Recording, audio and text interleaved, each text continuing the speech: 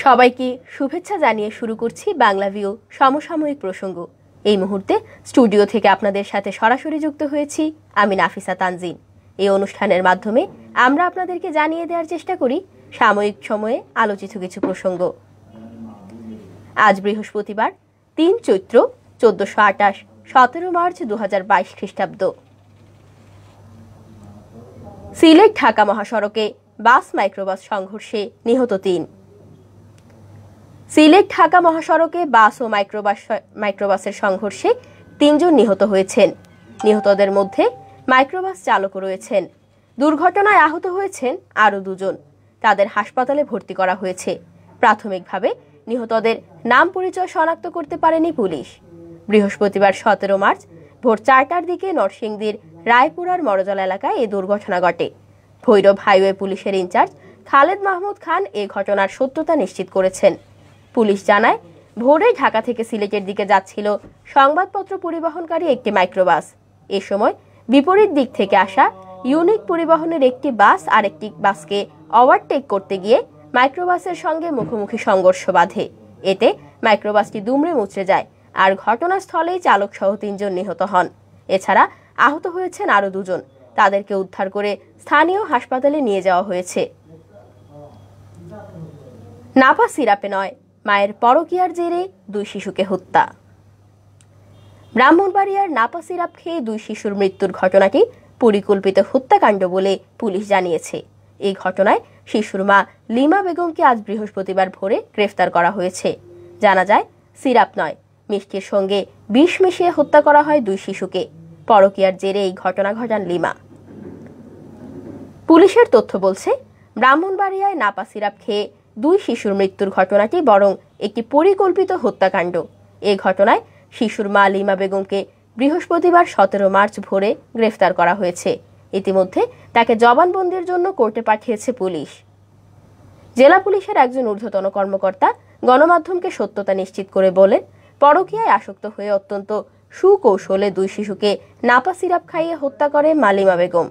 তার কথা, তার কথিত প্রেমিকের সঙ্গে বিয়ে সহ যাবতীয় কার্যক্রম সম্পন্ন হওয়ার কথা রয়েছে এ ঘটনা পুলিশের কাছে বিস্তারিতভাবে বর্ণনা করেছেন লিমা। এদিকে দুটি শিশুকে নাপা সিরাপ খাইয়ে হত্যার ঘটনায় আজ দুপুরে জেলা পুলিশের পক্ষ থেকে জরুরি সংবাদ সম্মেলন ডাকা হয়েছে। এর আগে নাপা সিরাপে ক্ষতিকর কিছু না পাওয়ায় নতুন কিছু সন্দেহ করছে তদন্ত কমিটি। পুলিশ সহ সংশ্লিষ্টরা। দুটি মোবাইল ফোনের কল রেকর্ড নিয়েও কাজ চলছে বলে সংশ্লিষ্ট একটি সূত্র জানিয়েছে। ওই দুই মোবাইল ফোনে বেশ কিছুদিন ধরে অনেক সময় নিয়ে কথা কথা হতো। এর একটি মোবাইল ফোন শিশুর পরিবারের। সিলেটে বর্ণিল আয়োজনে জাতির পিতার জন্মদিন উদযাপন। সিলেটে বর্ণিল আয়োজনে লালিত হচ্ছে জাতির পিতা বঙ্গবন্ধু শেখ মুজিবুর রহমানের একশো দুইতম জন্মবার্ষিকী। সকাল নয়টায় সিলেট জেলা প্রশাসন প্রাঙ্গণে স্থাপিত বঙ্গবন্ধুর মোড়ালে জেলা ও মহানগর মুক্তিযোদ্ধা কমান্ডের পুষ্পার্ঘ অর্পণের পর পুষ্পস্তবক অর্পণ করেন বিভাগীয় কমিশনার ডক্টর মোহাম্মদ মোশাররফ হোসেন। পরে জেলা প্রশাসন, জেলা ও মহানগর পুলিশ, জেলা ও মহানগর আওয়ামী লীগ এবং তাদের অঙ্গ ও সহযোগী সংগঠনের নেতৃবৃন্দ সহ বিভিন্ন শ্রেণি পেশার মানুষ জাতির পিতার প্রতি শ্রদ্ধা জানায়। এরপর সকাল সাড়ে এগারোটায় সিলেট জেলা পরিষদের সামনে বঙ্গবন্ধুর প্রতিকৃতিতে শ্রদ্ধা নিবেদন করেন সিলেট জেলা আওয়ামী লীগ। জেলা ও মহানগর যুবলীগ, ছাত্রলীগ সহ অঙ্গ সংগঠনের নেতৃবৃন্দ। পরে জেলা প্রশাসন প্রাঙ্গণ থেকে বিশাল র্যালি শুরু হয়ে নগরীর বিভিন্ন সড়ক প্রদক্ষিণ করে সিলেট জেলা স্টেডিয়ামে গিয়ে শেষ হয়। র্যালিতে অংশ নেন বীর মুক্তিযোদ্ধা, রাজনৈতিক দলের নেতাকর্মী, প্রশাসনিক কর্মকর্তা ও হাজারো শিক্ষার্থী, যেখানে ফানুস উড়িয়ে কর্মসূচির উদ্বোধন করেন বিভাগীয় কমিশনার ডক্টর মোহাম্মদ মোশাররফ হোসেন। এদিকে মুজিব বর্ষকে কেন্দ্র করে সাত সাত রবে সেজেছে সিলেট নগরী। গুরুত্বপূর্ণ সড়ক ও মোড়ে সাটানো হয়েছে উৎসব লোগো সম্পর্কিত ব্যানার ফেস্টুন। জাতির পিতার জন্ম উৎসবকে রঙিন করে তুলতে করা হয়েছে বর্ণিল আলোকসজ্জা। চলছে ডিজিটাল প্রচারণাও। বঙ্গবন্ধুকে স্বীকার না করা বাংলাদেশকে অস্বীকারের নামান্তর, তথ্যমন্ত্রী। তথ্য ও সম্প্রচার মন্ত্রী হাসান মাহমুদ বলেছেন বঙ্গবন্ধু ছাড়া বাংলাদেশের স্বাধীনতাকে কল্পনা করা যায় না। বঙ্গবন্ধুকে স্বীকার না করা, বাংলাদেশকেই অস্বীকার করার নামান্তর। আজ বৃহস্পতিবার, সতেরো মার্চ। বঙ্গবন্ধু শেখ মুজিবুর রহমানের একশো দুইতম জন্মবার্ষিকী উপলক্ষে রাজধানীর ধানমন্ডিতে জাতির জনকের প্রতিকৃতিতে দলীয় নেতাদের সঙ্গে পুষ্পস্তবক অর্পণ শেষে সাংবাদিকদের কাছে এসব কথা বলেন আওয়ামী লীগের যুগ্ম সাধারণ সম্পাদক। হাসান মাহমুদ বলেন, বাঙালির হাজারো বছরের ইতিহাসে প্রথম বাঙালি জাতিরাষ্ট্র বাংলাদেশ প্রতিষ্ঠিত হয়। সর্বকালের সর্বশ্রেষ্ঠ বাঙালি জাতির জনক বঙ্গবন্ধু শেখ মুজিবুর রহমানের নেতৃত্বে। তাই বঙ্গবন্ধুকে ছাড়া বাংলাদেশের স্বাধীনতাকে কল্পনা করা যায় না। তথ্যমন্ত্রী বলেন, আজকের এই দিনে আমাদের শপথ হচ্ছে যে অসাম্প্রদায়িক চেতনার ভিত্তিতে বঙ্গবন্ধুর নেতৃত্বে বাংলাদেশ স্বাধীনতা অর্জন করেছিল তার সুপ্রতিষ্ঠা। সমস্ত সাম্প্রদায়িকতাকে উপড়ে ফেলে দেশের স্বাধীনতা সার্বভৌমত্বের বিরুদ্ধে ষড়যন্ত্রকারীদের নির্মূল করে বঙ্গবন্ধুর ও তার নেতৃত্বে স্বাধীনতা সংগ্রামে অংশগ্রহণকারীদের স্বপ্নের ঠিকানায় দেশকে পৌঁছানোই আজকের শপথ। বঙ্গবন্ধুর জন্মদিন উপলক্ষে তার জন্মস্থান গোপালগঞ্জের টুঙ্গিপাড়ায় বাংলাদেশ আওয়ামী লীগ আয়োজিত অনুষ্ঠানে যোগ দিতে পরে ঢাকা ত্যাগ করেন হাসান মাহমুদ। সিলেটের সাবেক সাংসদ সৈয়দ মকবুল হোসেন আর নেই। সিলেট ছয়, বিয়ানীবাজার ও গোলাপগঞ্জ আসলের সাবেক সাংসদ সৈয়দ মকবুল হোসেন ওরফে লিচু মিয়া মারা গেছেন। ইন্নালিল্লাহি ও ইন্না ইলাইহি রাজিউন। গতকাল বুধবার রাত পৌনে দশটার দিকে রাজধানী ঢাকার একটি বেসরকারি হাসপাতালে চিকিৎসাধীন অবস্থায় তিনি ইন্তেকাল করেছেন। সৈয়দ মকবুলের মৃত্যুর বিষয়টি গণমাধ্যমকে নিশ্চিত করেছেন প্রয়াতের নাতি এম ওয়াদুদ ইমরুল।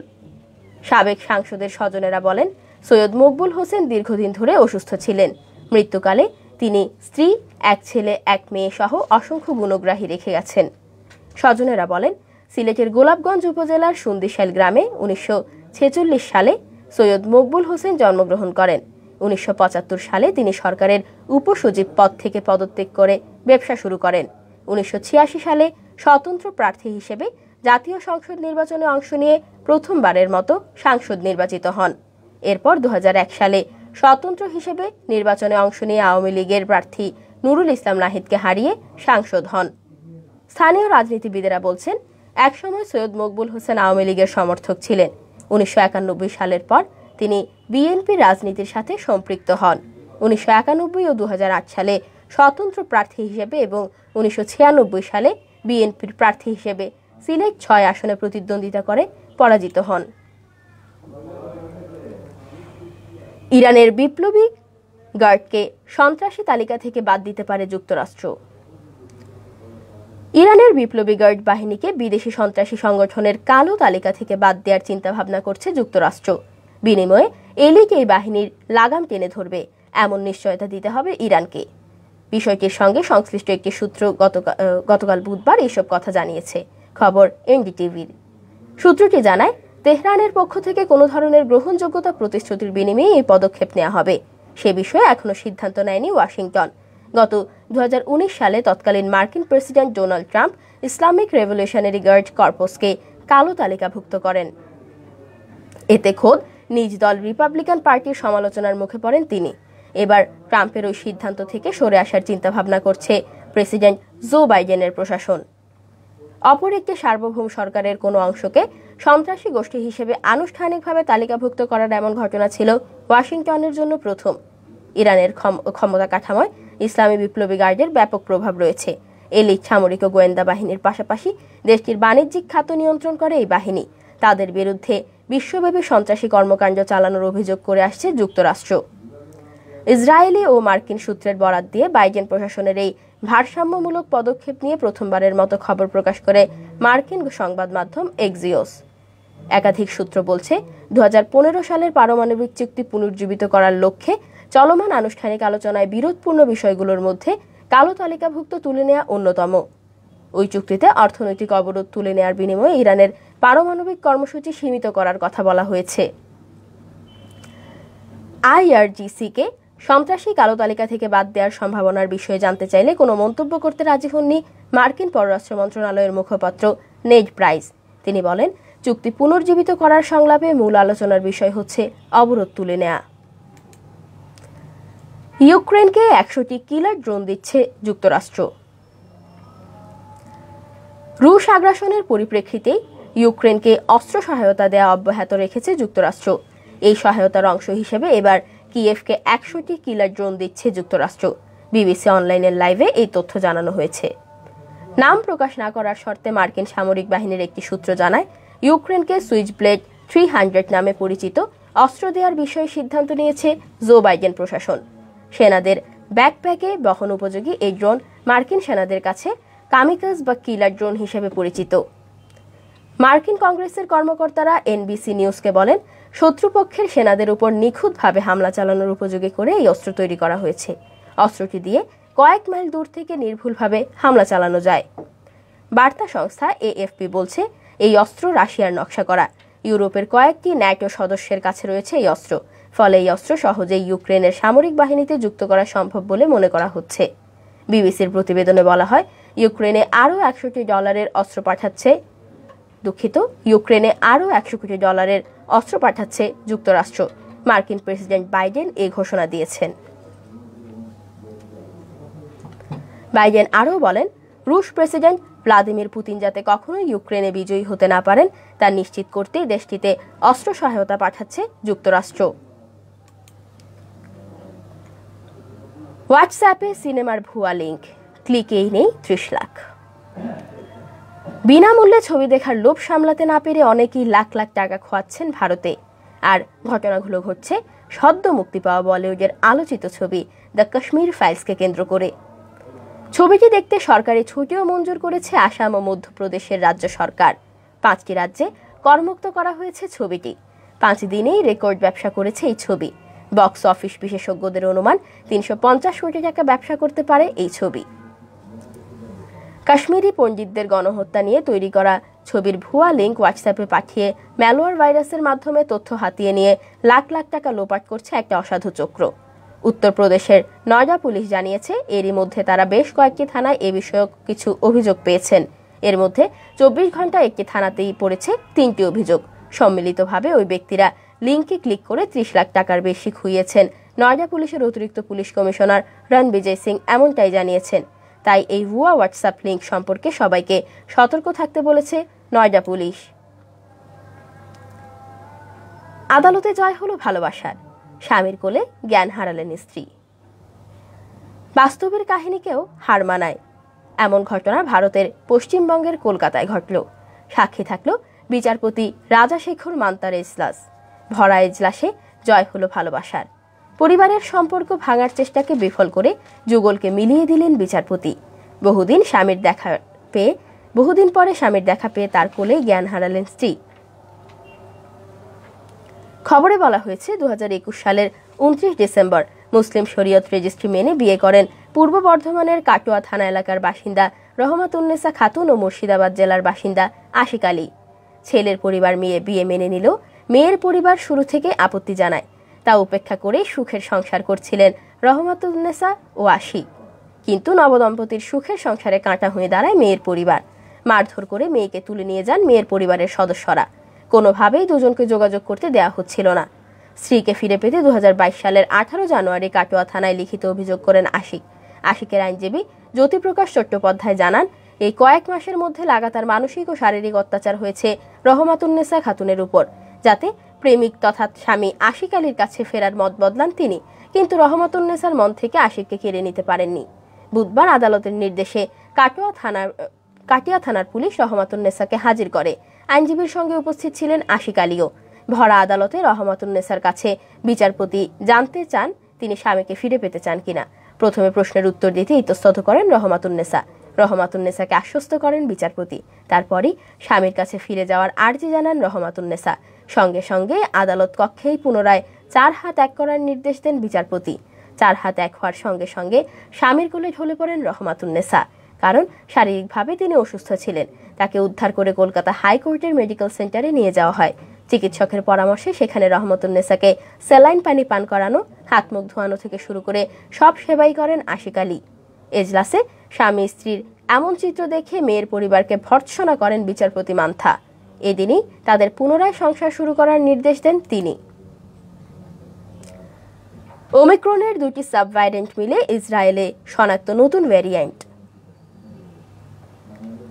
এবার ইসরায়েলে শনাক্ত হলো করোনা ভাইরাসের নতুন ভ্যারিয়েন্ট। বুধবার দেশটির স্বাস্থ্য মন্ত্রণালয় এ তথ্য জানিয়েছে। মন্ত্রণালয় জানিয়েছে ইসরায়েলের বেন গুরিয়ন বিমানবন্দরে আসা দুই যাত্রীর দেহে নতুন ভ্যারিয়েন্ট শনাক্ত হয়েছে। তবে এই ভ্যারিয়েন্ট নিয়ে এখনও উদ্যোগের কিছু দেখা যায়নি। ওমিক্রন দুটি ওমিক্রনের দুটি সাব ভ্যারিয়েন্ট মিলে এই নতুন ভ্যারিয়েন্টটি তৈরি হয়েছে। এক বিবৃতিতে মন্ত্রণালয় বলেছে, বিশ্বজুড়ে এই ভ্যারিয়েন্টটি এখনও অপরিচিত। সম্মিলিত রূপের ভ্যারিয়েন্টটিতে আক্রান্তদের জ্বর মাথা ব্যথা ও পেশি সংকোচনের মতো হালকা উপসর্গে ভুগছিল এবং বিশেষ চিকিৎসার প্রয়োজন নেই। ইসরায়েলের মহামারী মোকাবেলা ইউনিটের প্রধান সালমান জারকা বলছেন, সম্মিলিত ভ্যারিয়েন্টের ঘটনাটি সুপরিচিত। এই পর্যায়ে এটি গুরুতর পর্যায়ে নিয়ে যেতে পারে, কিনা সে ব্যাপারে আমরা চিন্তিত নই। প্রসঙ্গত, ইসরায়েলের বিরানব্বই লাখ জনগোষ্ঠীর মধ্যে চল্লিশ লাখেরও বেশি করোনা ভাইরাসের তিন ডোজ টিকা পেয়েছেন।